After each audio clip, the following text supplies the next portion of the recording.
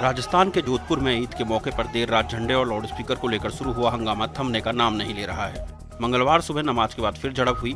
Police ने फ़िलहाल इस मामले में तीन लोगों को हिरासत में लिया है। जोधपुर के डीसीपी भुवन भूषण यादव ने बताया कि 10 थाना क्षेत्रों में कर्फ्यू लगा दिया गया है। पुलिस का कहना है कि अब हालात कंट्रोल में हैं। भी हमने हर जगह गश्त करी, हर जगह अभी तक लगभग शांतिपूर्ण माहौल है। दस थाना क्षेत्रों में आज रात, आज एक बजे से कल रात को बारह बजे तक कर्फ्यू है। पाँच वेस्ट के, पाँच ईस्ट के। ईस्ट के थानों में सदर बाज़ार, सदर कोतवाली नागौरी गेट टांडा पुलसा और वेस्ट वालों में प्रतापनगर प्रतापनगर सदर, सूरसागर, देवनगर और सदापुर। बता दें कि मंगलवार को भी पाँच जगहों पर पथराव हुआ। किसी भी तरह की अफवाह को रोकने के लिए जोधपुर में इंटरनेट सेवाओं को निलंबित कर दिया गया है। बता दें कि देर रात जोधपुर के जालोरी गेट इलाके में एक समुदाय के लोगों ने अपने झंडे और लाउडस्पीकर लगा दिए। इसके साथ ही इन लोगों ने स्वतंत्रता सेनानी बाल मुकुंद बिस्सा की मूर्ति पर धार्मिक झंडा फहरा दिया।